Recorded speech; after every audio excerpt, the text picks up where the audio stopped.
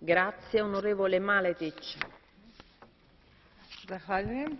E, Donošenje regulative o Europskom fondu za poljoprivredu i ruralni razvoj izuzetno je važno jer je preduvjet da se u praksi zaista počnu provoditi sredstva koja se izdvajaju za to.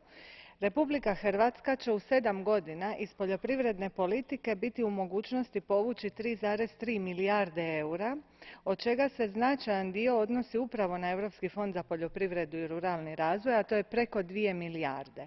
Veliki broj projekata koji poboljšavaju kvalitetu života i potiču rast i razvoj u ruralnim krajevima moći će se financirati od komunalne, društvene i poduzetničke infrastrukture do projekata energetske učinkovitosti i financiranja različitih oblika modernizacije i proširenja poljoprivredne proizvodnje.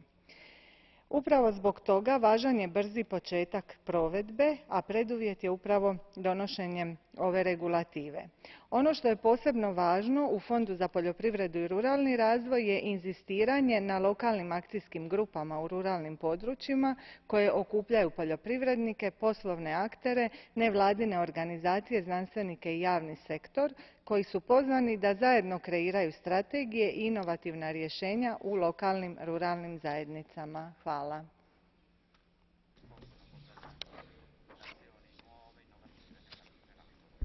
Grazie.